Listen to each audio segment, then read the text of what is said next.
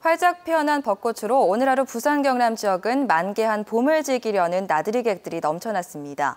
특히 재개장한 놀이공원과 고성 공룡 엑스포에 많은 인파가 몰렸습니다. 정기영 기자입니다. 부산 대저 생태공원입니다.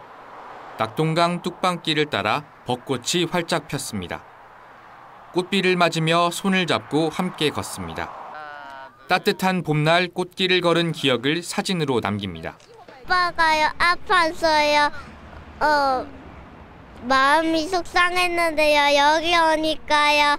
어, 기분이 너무 좋고요. 이모가요 꽃 뜯어서 젖었어요. 놀이공원도 나들이 인파로 북적였습니다. 공중에 줄 하나에 매달려 빠른 속도로 미끄러집니다. 오랜만에 보는 회전목마와 청룡열차에 부모님이 더 신났습니다.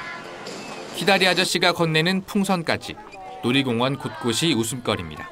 25년 만에 어, 애들 데리고 이제 개장해서 왔어요. 우리 딸이 또 생일이거든요. 그 생일을 맞아서 겸사겸사 이렇게 왔어요. 5년 만에 다시 문을 연 김해한 놀이공원에도 많은 분들이 찾아 따뜻한 봄날을 만끽했습니다.